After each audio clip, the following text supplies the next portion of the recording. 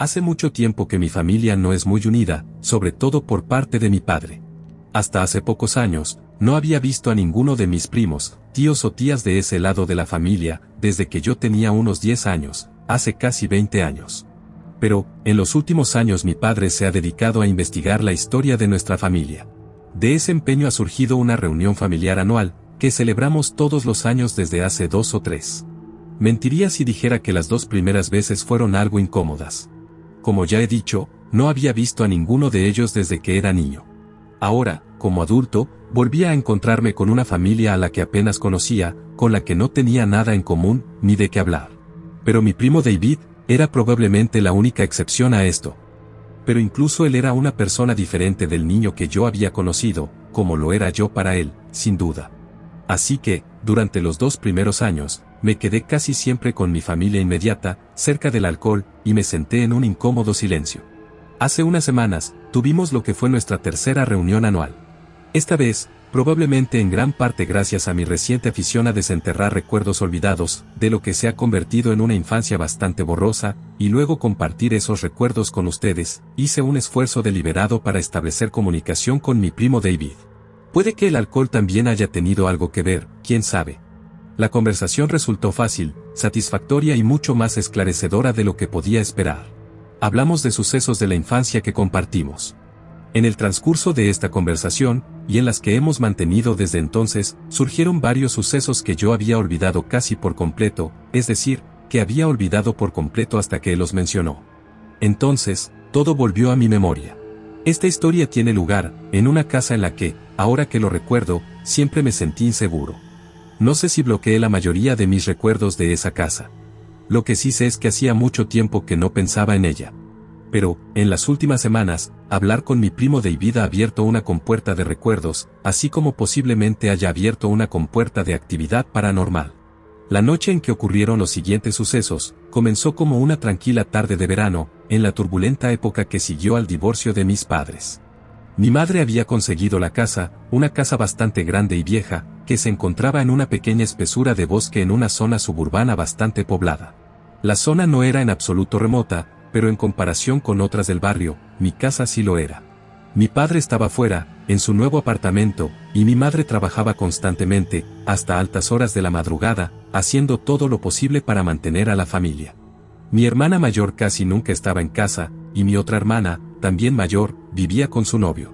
Eso nos dejaba a mi hermano y a mí, ambos muy jóvenes, solos en casa casi todas las noches. En esta ocasión, al ser pleno verano, habíamos conseguido algo de compañía. Mi primo David y uno de los amigos de mi hermano, Jesse, habían venido y estaban decidiendo qué querían hacer.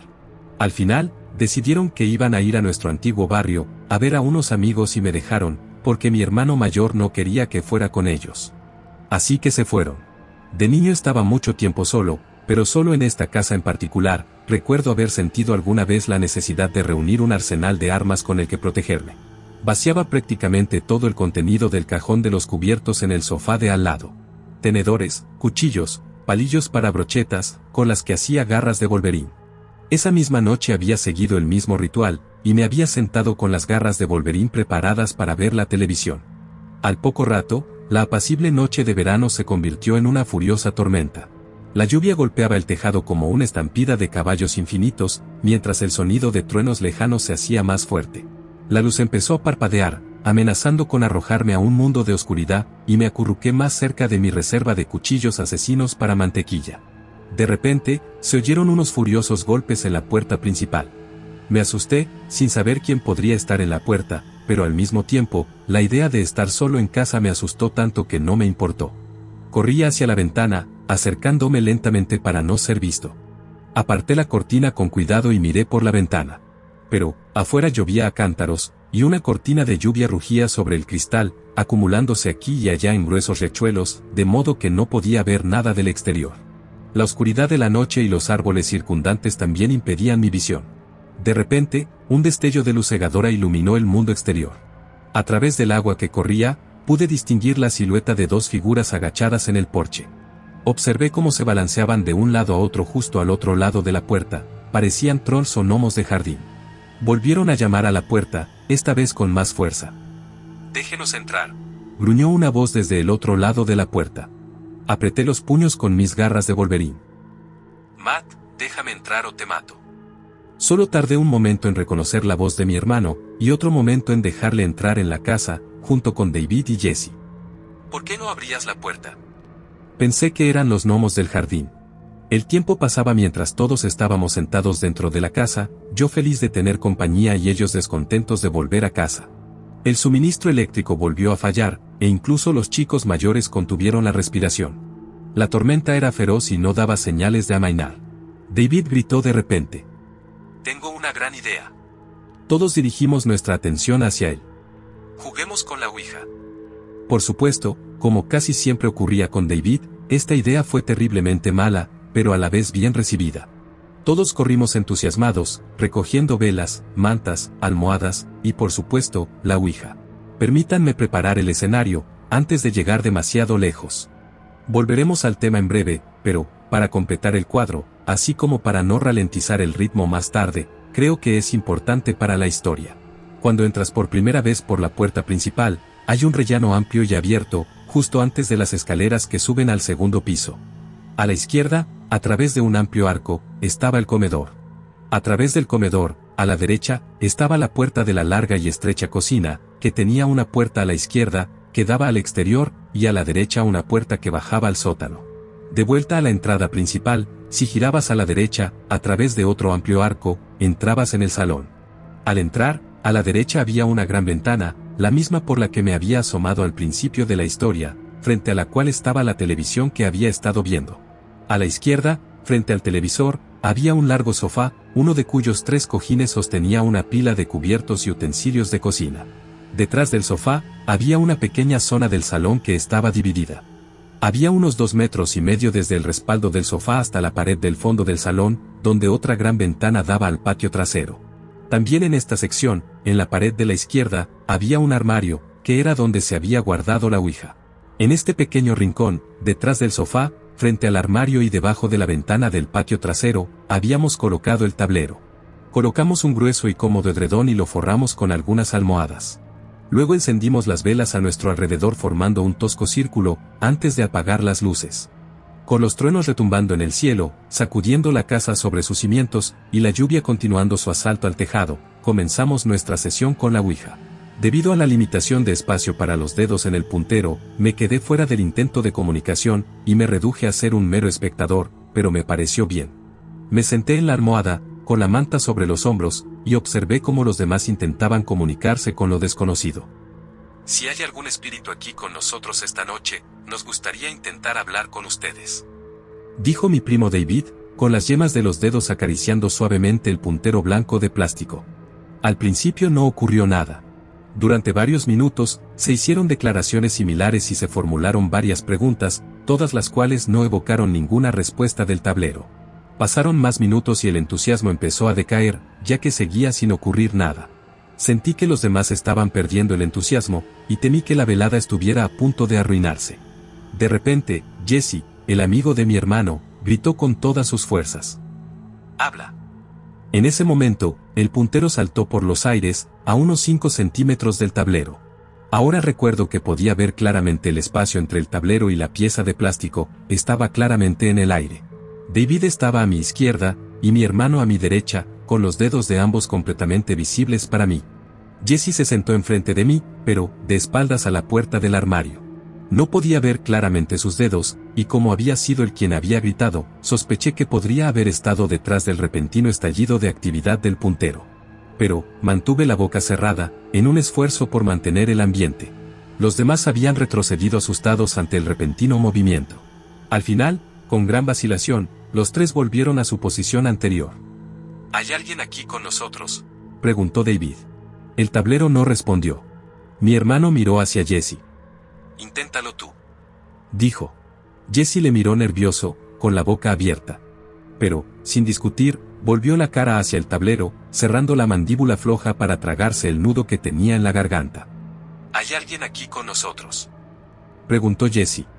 Observé con asombro cómo el puntero empezaba a moverse lentamente, arrastrándose hacia la parte superior del tablero, que estaba frente a mi hermano. Cerca del borde del tablero, justo antes de deslizarse sobre el edredón, se detuvo. A través de la ventana circular incrustada en el plástico blanco se podía leer la palabra, sí. La cabeza de mi hermano se levantó rápidamente y miró hacia Jesse, con una expresión de duda en el rostro, como diciendo, será mejor que no hagas esto. A cambio, Jesse sacudió la cabeza, con una expresión de espanto dibujada en su propio rostro, como diciendo, No soy yo, lo juro. Aún así, tenía mis sospechas. Sigue adelante. Le dijo David a Jesse. Está bien.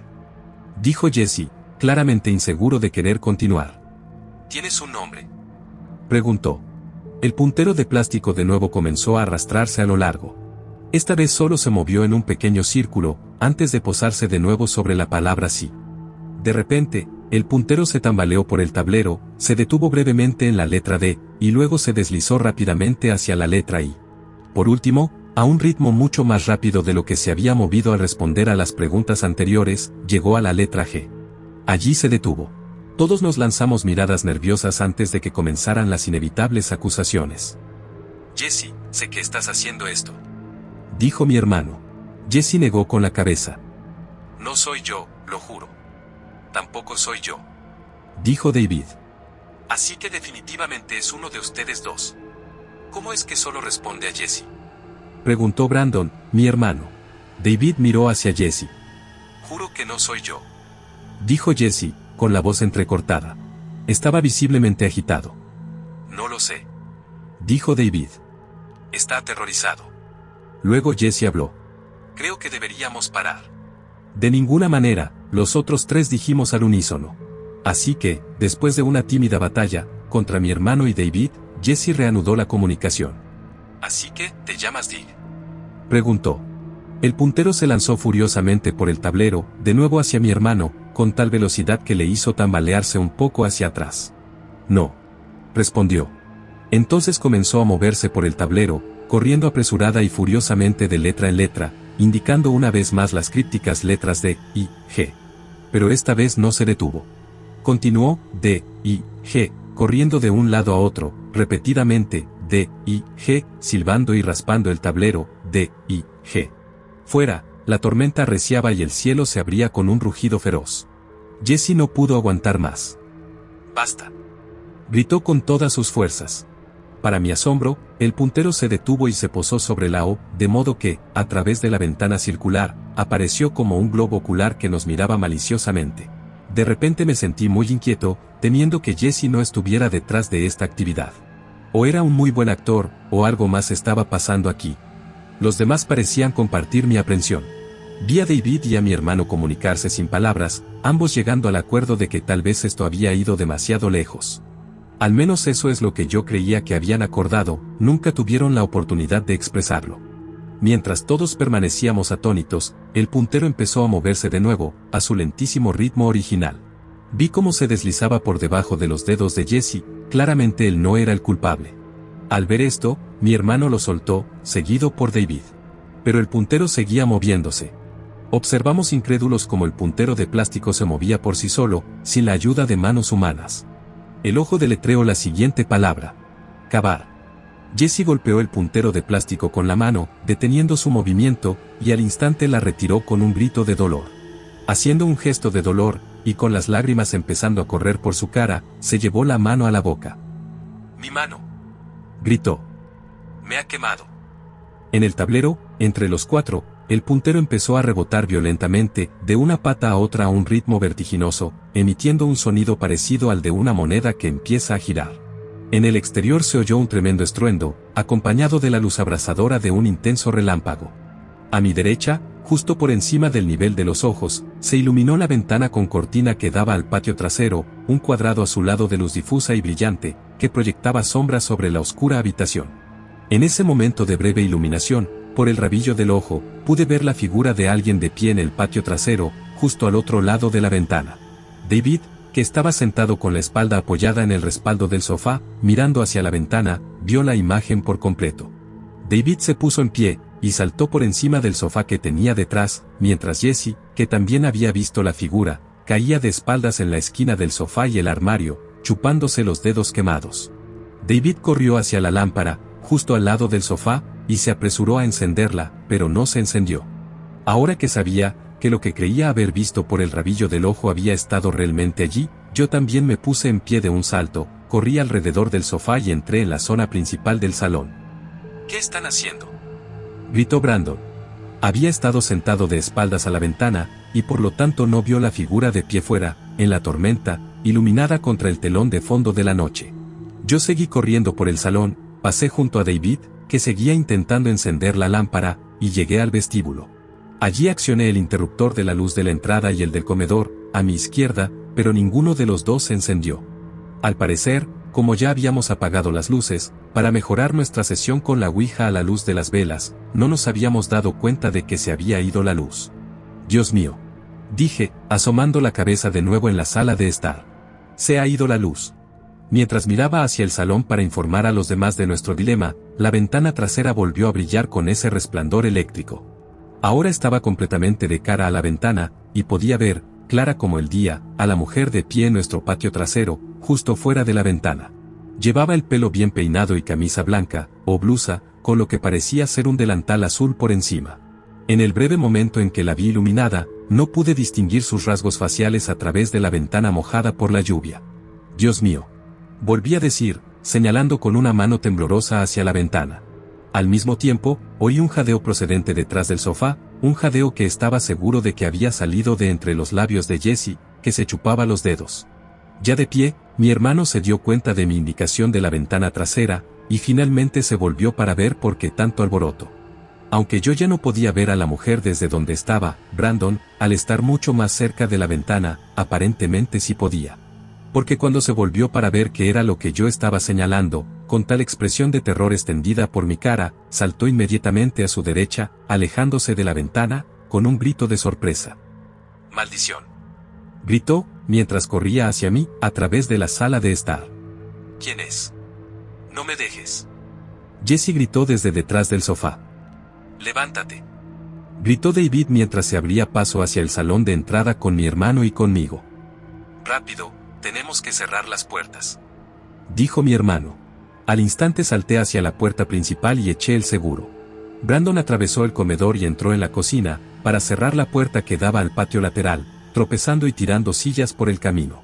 David había vuelto corriendo al salón para tomar un par de velas, y gritaba a Jesse para que le siguiera, y por fin había salido detrás del sofá, temblando y llorando. Cuando pasaron unos instantes y mi hermano no había vuelto, los otros tres salimos de la entrada y nos dirigimos a la cocina para encontrarlo y ver qué pasaba. Allí encontramos a Brandon, inclinado sobre el fregadero, encima del cual había un pequeño par de ventanas que daban al patio trasero. En la mano tenía una linterna apagada, que había tomado del cajón de los trastos de la cocina. Nos reunimos todos en la larga y estrecha cocina, y esperamos en silencio a que nos informara de lo que veía afuera.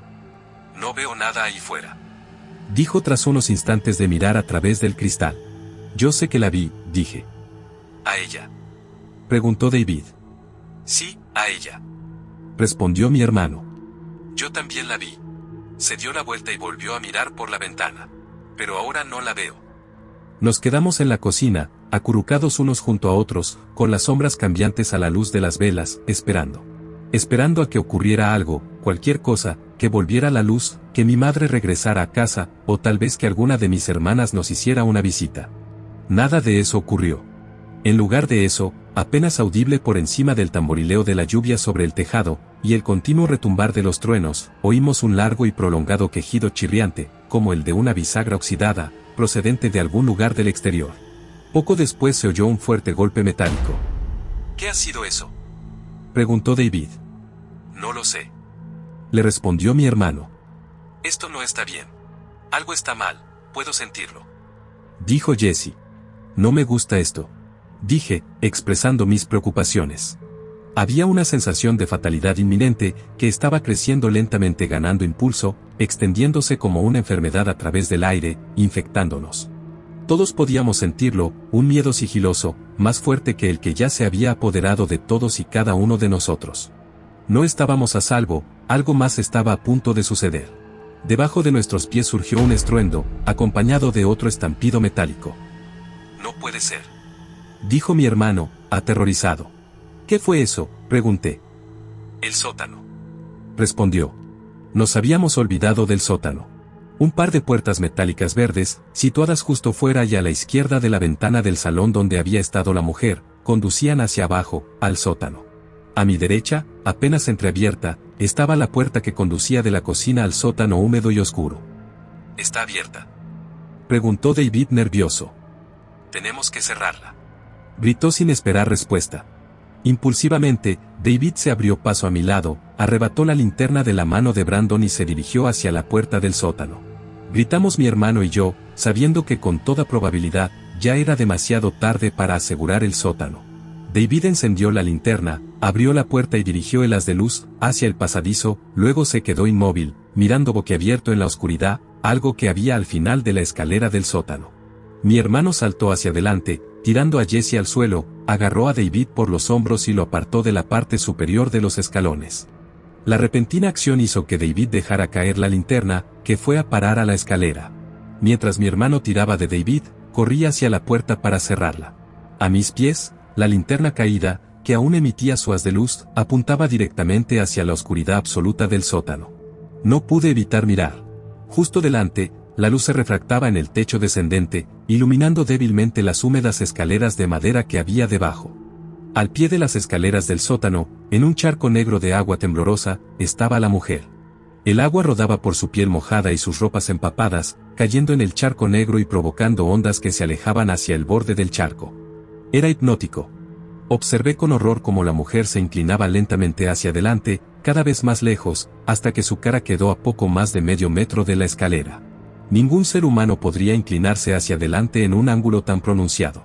Con un movimiento espasmódico, la mujer levantó la cabeza y me miró directamente. Fue su cara la que me llamó la atención, o más bien la falta de ella.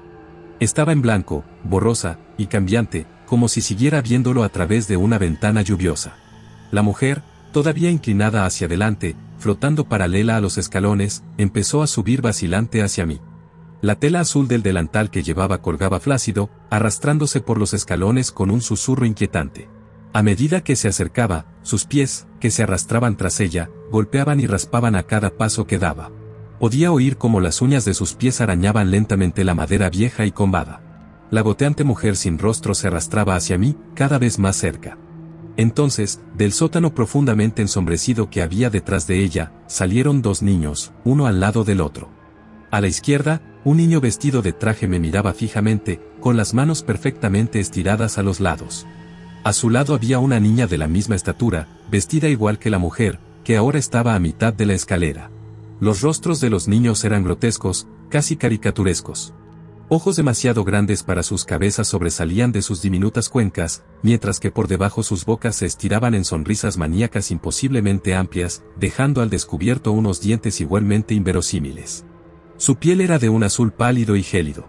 Los niños permanecieron en la parte inferior, justo fuera de las sombras, mientras la madre continuaba su ascenso. A medida que la mujer se acercaba, recuerdo vagamente que me pareció oírla tararear una melodía. Matt, ¿qué estás haciendo? Oí gritar a mi hermano a mi derecha.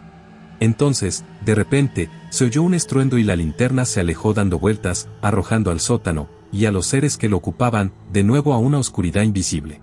Mi hermano se había puesto delante de mí, sin querer, le había dado una patada a la linterna al tomarme del brazo y alejarme de la puerta. Recuerdo que me sentía aturdido y ahora, mientras escribo esto, supongo que debía de estar en una especie de trance.